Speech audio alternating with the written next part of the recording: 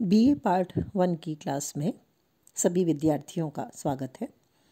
मैं डॉक्टर शिखा अग्रवाल, राजकीय महाविद्यालय सुजानगढ़।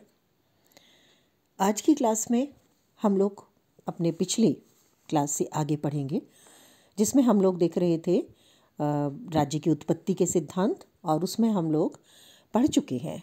राज्य की उत्पत्ति के दैवीय शक्ति, सामाजिक समझौता सिद्धांत और आज हम देखेंगे ऐतिहासिक या विकासवादी सिद्धांत।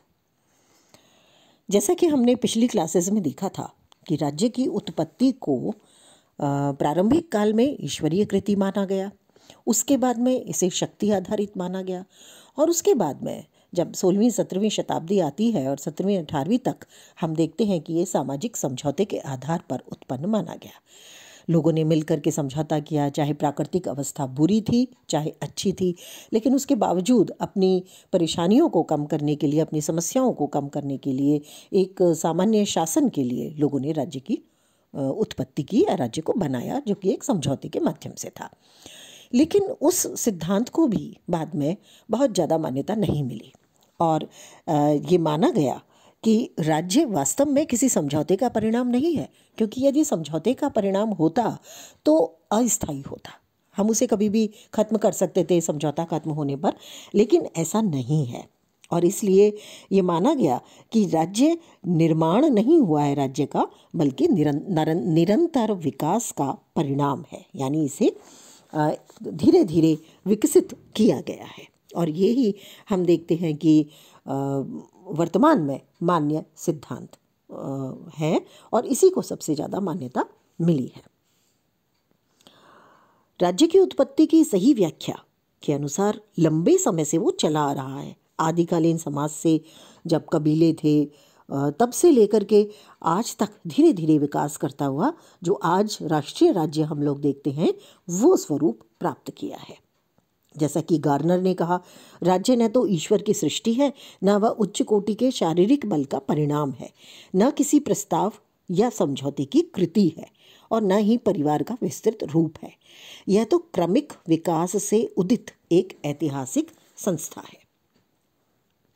बर्गिस ने भी यही कहा राज्य मानव समाज का निरंतर विकास है, जिसका प्रारंभ अत्यंत अधूरे और विकृत, किंतु उन्नतिशील रूपों में अभिव्यक्त होकर मनुष्यों के एक समग्र एवं सार्वभौम संगठन की ओर हुआ है। तो इस तरह से राज्य की जो उत्पत्ति हुई है, वो धीरे धीरे विकसित हुई है। और जैसा कि समाजशास्त्री सैमनल और कैलर ने कहा कि राज्य किस समय सबसे पहले दिखाई दिया, यह उसी प्रकार बताना असंभव है। जिस प्रकार ये कहना कि कब नैतिक नियम बने और बच्चा कब युवा हुआ और युवा से कब प्रौढ़ हुआ। यानी कोई निश्चित काल इसका निर्धारित नहीं किया जा सकता। धीरे धीरे ये बढ़ता गया आगे क्रम में और विकास क्रम में आज की स्थिति में पहुँच गए बहुत सारी चीज़ें इसमें सहायक रही, बहुत सारे तत्व हैं जो इसमें सहायक रहे। जैसे मूल सामाजिक प्रवृत्ति मनुष्य समूह में रहता है, रक्त संबंधों से जुड़ा हुआ एक परिवार में रहता है एक धर्म उसे बाउंड करता है, बांधता है, सांस्कृतिक धरोहर जिसको हम बोलते हैं, शक्ति से भी अनुशासन बना रहता है, एकता बनी रहती है, आर्थिक गतिविधियाँ लोगों को एक दूसरे से जोड़े रखती हैं और उसके बाद आती है राजनीतिक चेतना। तो बहुत सारे तत्व हैं, इनको हम एक एक करके देखेंगे। सबसे पहले हम देखते हैं मूल सामाजिक प्रवृत्ति। राज्य के विकास में जो सबसे महत्वपूर्ण चीज़ है, वो है मानव की सामाजिक प्रवृत्ति। जैसा कि अरस्तु ने कहा कि यदि कोई व्यक्ति जिसे समाज की आवश्यकता नहीं है, या जो समाज में नहीं रहता, या जो अपने आप को पूर्ण मानता है, वो या तो पशु है या फिर देवता, क्योंकि एक मनुष्य को समाज में रहने की आवश्यकता पड़ेगी, क्योंकि उसकी कोई भी आवश्यकता ऐसी नहीं है जिसे वो स्वयं पूरा कर सके। तो मूल प्रवृत्ति उसकी सामाजिक है। और उसी सामाजिक प्रवृत्ति के कारण धीरे धीरे जो सामाजिक जीवन में जटिलताएँ आती हैं, उनसे राजनीतिक जीवन की उत्पत्ति उत्पत्ति हुई और उसके बाद में राज्य का उदय होता है। दूसरी बात आती है रक्त संबंध। जैसा कि अरस्तु ने भी कहा था कि परिवार जैसे राज्य बना तो राज्य की प्राथमिक इकाई क्या थी? परिवार। और परिवार क्या था? रक्त संबंधों पर आधारित। परिवार में मा, माता पिता और बच्चे थे यानी पति पत्नी का संबंध भी था और माता पिता से बच्चों का संबंध भी था। उससे कुटुंब कुटुंब का जन्म होता है कुटुंब से ग्राम का जन्म होता है ग्राम से राज्य का। तो इस तरह से उन्होंने धीरे धीरे इसको आगे बढ़ाया था। एक अंग्रेज़ी कहावत है कि खून पानी से गाढ़ा होता है। यानी जो लोग रक्त संबंधी होते हैं, वो आपस में ज़्यादा अच्छी तरह से जुड़े हुए होते हैं। तो प्रारंभ में एक दल जब बना, संगठित हुआ तो उसमें काफ़ी हद तक निकट के रक्त संबंधियों का महत्वपूर्ण योगदान था। हेनरी मैन ने इस संबंध में कहा, समाज के प्राचीनतम इतिहास की आधुनिकतम खोजें इस निष्कर्ष की ओर इशारा करती हैं कि समूहों को एकता के सूत्र में बांधने वाला प्रारंभिक बंधन रक्त संबंध था। रक्त संबंध जनसंख्या जैसे जैसे बढ़ती जाती है, कुटुंब का आकार बढ़ता है, वैसे वैसे समाज का निर्माण होता है। मैं कई बार ने कहा, रक्त संबंध समाज को जन्म देता है। परिवार ने किस तरह राज्य को जन्म दिया, ये कहना तो कठिन है, लेकिन धीरे धीरे समाज बना। व्यक्तियों ने रक्त संबंधियों ने एक स्थान पर रहना शुरू किया। कृषि हुई, स्थायी निवास हुआ परस्पर सहयोग हुआ। पुरुषों की प्रधानता बढ़ी, कुल बने, समाज बने और राज्य अस्तित्व में आता है। तो इस तरह से ये राज्य अस्तित्व में आता है। तीसरी बात जो इसमें हम देखते हैं वो है धर्म। धर्म क्या है? धर्म से पहले हम एक बात और कर लेते हैं। अरस्तु कहते हैं कि राज्य कुलों और ग्रामों का वह समुदाय है जिसका उद्देश्य पूर्ण आत्मनिर्भर और सद जीवन की प्राप्ति कराना है। तो इस तरह से उन्होंने भी रक्त संबंध को महत्वपूर्ण माना है। धर्म जो है वो महत्वपूर्ण है, क्योंकि रक्त संबंध और धर्म घनिष्ठ है। सामान्य तौर पर एक एक तरह के रक्त संबंधी एक तरह के धर्म को मानते थे। विल्सन के अनुसार प्रारंभिक समाज में धर्म समान रक्त का प्रतीक, उसकी एकता, पवित्रता और दायित्व की अभिव्यक्ति था। गैटल ने भी यही लिखा। उनका कहना था, रक्त संबंध और धर्म एक ही वस्तु के दो रूप थे और समूह की एकता और उसके कर्तव्यों को धार्मिक मान्यता प्राप्त थी। तो रक्त संबंध पर आधारित परिवार थे और उसी के आधार पर धर्म थे। इसमें पहले पितृ पूजा भी होती थी बहुदेव पूजा भी थी जिसे हम कहते हैं कि कुटुंबों को जिन्होंने एक सूत्र में बांधा था। तो प्रारंभ काल में धर्म की एक बात महत्वपूर्ण भूमिका थी। सामान्य तौर पर जो विश्वास थे धर्म को लेकर के या शक्तियों को लेकर के जो प्राकृतिक शक्तियाँ थीं या जो पारिवारिक शक्तियाँ थीं, उसके प्रति जो एकता का भाव उत्पन्न होता था, उसने लोगों को जोड़ा। समान मान्यताएँ हुई, समान रीति रिवाज हुए और इस तरह से एक कबीला बना और उस कबीले के आधार पर धीरे धीरे उसका विस्तार होते होते राज्य की तरफ़ बढ़ गए। अभी भी हम देखते हैं कि धर्म का महत्व केवल समाज तक सीमित नहीं है, बल्कि बहुत सारे राज्यों में धर्म और राजनीति का गहरा संबंध है। जैसे जितने भी हम पश्चिम एशिया के देश देखते हैं, उनमें खास करके हम इस चीज़ को देखते हैं। अगला आता है शक्ति।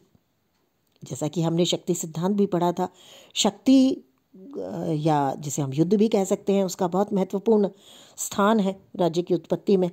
और शायद युद्ध के आधार पर ही राजनीतिक व्यवस्था में परिवर्तित हुई होगी एक सामाजिक व्यवस्था, जैसा कि जैक्स ने कहा। जन समाज का राजनीतिक समाज में परिवर्तन शांतिपूर्ण उपायों से नहीं हुआ, बल्कि वह परिवर्तन युद्ध द्वारा हुआ है। मनुष्य हमेशा दूसरों पर आधिपत्य स्थापित करना चाहता है और संघर्ष करना और आक्रमण की जो प्रवृत्ति है, उसके कारण व्यक्ति ने विकास के प्रारंभिक काल में सक्रिय रहते हुए धीरे धीरे दूसरे लोगों पर अधिकार करना शुरू किया। एक निश्चित स्थानों पर बसे, निजी संपत्ति की धारणा आई और संपत्ति की रक्षा के लिए और काफ़ी हद तक हम कहें कि अपनी सुरक्षा के लिए।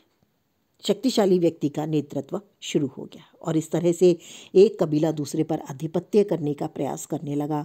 जो सैनिक शक्ति में मज़बूत था और जो विजयी हो सकता था, वो राजा बन गया। इस तरह से ये भी माना जाता है कि इसका विकास शक्ति के आधार पर हुआ है। युद्ध से राज्य की उत्पत्ति हुई है। गैटल के अनुसार ये बात कम से कम अर्ध सत्य अवश्य है कि युद्ध से राजा का जन्म हुआ है या राज्य का जन्म हुआ है क्योंकि सत्ता और कानून की आवश्यकता को जन्म देने और पारिवारिक संगठन को अधिकाधिक राजनीतिक स्वरूप देने में सैनिक कार्यवाही विशेष रूप से सहायक सिद्ध हुई है। अगला जो महत्वपूर्ण तत्व है राज्य की उत्पत्ति और उसके विकास में वो है आर्थिक गतिविधियाँ। आर्थिक गतिविधियों के बारे में आ, सभी विचारक मानते हैं चाहे वो प्लेटो हों चाहे मैक्यावली हों चाहे हॉब्स हों लॉक हों एडम स्मिथ हैं, किसी को भी हम लें तो सभी इस बात को मानते हैं। गैटल ने लिखा, आर्थिक चेष्टाएँ या गतिविधियाँ जिनके द्वारा मनुष्य ने मौलिक आवश्यकताओं की संतुष्टि की और बाद में संपत्ति और धन का संचय किया, राज्य के निर्माण में आवश्यक तत्व रही हैं। तो बहुत महत्वपूर्ण है आर्थिक गतिविधियाँ। जो विभिन्न विचारक हैं, जैसे प्लेटो को ही हम लेते हैं तो वो कहते हैं कि व्यक्ति की परस्पर निर्भरता थी प्रारंभिक काल में, और वो निर्भरता क्यों थी? क्योंकि आर्थिक गतिविधियाँ व्यक्ति अकेले नहीं कर सकता था, वो एक ही काम कर सकता था, या एक ही तरह की गतिविधि में पारंगत था तो उसे दूसरी, अपनी आवश्यकताओं की पूर्ति के लिए दूसरे लोगों पर निर्भर रहना होता था, इस तरह से एक समाज और राज्य बना था। लेकिन ये जो विचार है, इसको सबसे ज़्यादा कार्ल मार्क्स ने आगे बढ़ाया। कार्ल मार्क्स कहते हैं, राज्य आर्थिक परिस्थितियों की अभिव्यक्ति है। अगर हम आदिम काल की तरफ़ देखें, जैसे कि हमारे विचारक कहते हैं तो उनका कहना है कि चार आर्थिक अवस्थाओं से मनुष्य गुजरा है, जिसके अनुसार तात्कालिक सामाजिक और राजनीतिक संगठन रहे। सबसे पहला है आखेट अवस्था, जिसे शिकार करता था मनुष्य। एकमात्र साधन था, जीवन उसका अस्थिर था, असंगठित था और वो भ्रमणशील था, यानी वो घूमता रहता था। इसके बाद में दूसरी स्थिति आती है, जिसमें पशुपालन करना उसने शुरू किया। इस अवस्था में जीवन तो उसका घुमंतु था, भ्रमणशील था, किंतु सामूहिकता और संगठन अब थोड़ा थोड़ा शुरू हो गया था। तीसरी स्थिति थी कृषि की अवस्था। जब पशुपालन शुरू हुआ तो धीरे धीरे उसने कृषि भी सीखी। एक स्थान पर रहना शुरू किया, स्थायी निवास शुरू होता है। यहीं से निजी संपत्ति की धारणा भी शुरू होती है। समाज में वर्ग पैदा हुए, क्योंकि एक स्थान पर रहना शुरू हुआ। स्थायी हुआ व्यक्ति और कानून, न्यायालय और राजनीतिक सत्ता भी यहीं से शुरू होती है, ऐसा माना जाता है। चौथा युग आया औद्योगिक अवस्था, जिसमें व्यक्ति ने आर्थिक जीवन की जो कठिनाइयाँ थी, उनको दूर करने के लिए यंत्रों की सहायता लेना शुरू किया। बड़े राज्य बनने शुरू हुए बड़े बड़े उद्योग लगने शुरू हुए, कारखाने लगने शुरू हुए और इस तरह से मनुष्य का जो राजनीतिक जीवन था, उसमें भी जटिल, उसमें भी परिवर्तन आने लगा।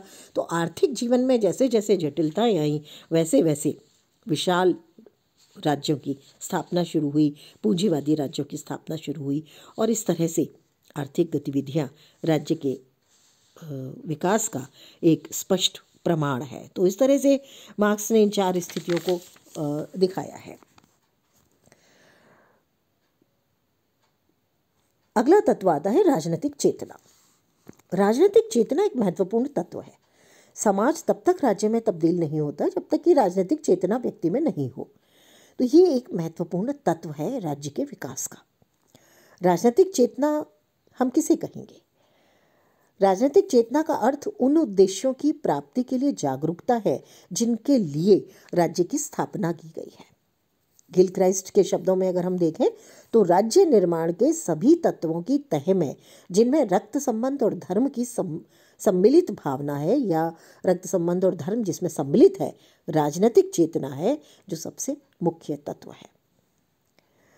ब्लंशली ने भी यही माना है। उनका कहना है कि मनुष्य में सामाजिक जीवन की इच्छा ही राज्य निर्माण का कारण बनती है।